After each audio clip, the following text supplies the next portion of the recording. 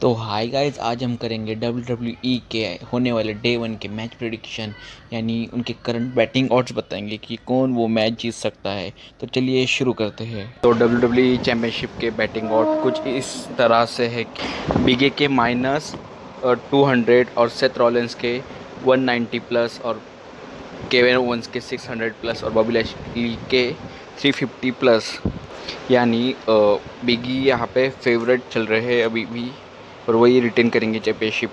और अपना last match है डब्ल्यू डब्ल्यू का मेन इवेंट यानी Roman Reigns versus Brock Lesnar का मैच और डब्ल्यू यूनिवर्सल चैम्पियनशिप के लिए जो बैटिंग ऑड्स है, वो अभी भी रोमन रेस की तरफ़ फेवर कर रही है, क्योंकि रोमन रेस के betting odds minus two fifty है और ब्रॉक लेसनर के betting odds minus plus seventy है, इसलिए प्लस वन सेवेंटी है, इसलिए रोमन रेंज चैम्पियनशिप रिटर्न करेंगे डे वन में, किसी भी हालत में। सब्सक्राइब करो और डिलीवरी अपडेट के लिए thank you so much for watching.